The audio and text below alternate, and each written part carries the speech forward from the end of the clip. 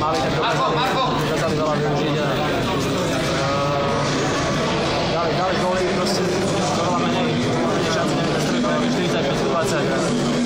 Čiže sú aj takéto zápasy, no a ja som len rád, že to bolo ešte príprave, lebo takéto zápasy ťažko, uh, sa, ťažko sa znášajú, keď, keď, keď to mužstvo lepšie, možno 50 minút z toho zápasu a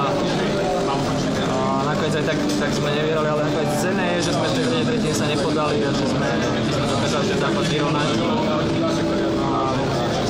Presestovania. Tá presovka Ale tam ja, ja si myslím, áno, presne, ten začiatok druhej tretiny myslím, že boli najdominantnejší a bola tam obrovská prevaha, dva samostatné nájazdy, preslovka 5 na 3 a myslím, že tam sa treba pozrieť a tie šance sa nevyužili a tam si myslím, že ten zápas alebo tak uh, tam ten brankár ich podržal a, tam získali nejakú takú možno prevahu, ale si začali viacej veriť, som povedal, lebo naozaj z tých troch, štyroch vyložených šancí, aspoň minimálne, keď sme dali jeden gol, že by bolo po zápase. Miro, pochválil si Sersena, že strieľal hore.